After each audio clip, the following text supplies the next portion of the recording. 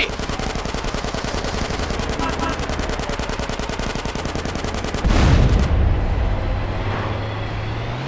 Head to a 10 tank in Fort Carson. Suspect will have in a light truck.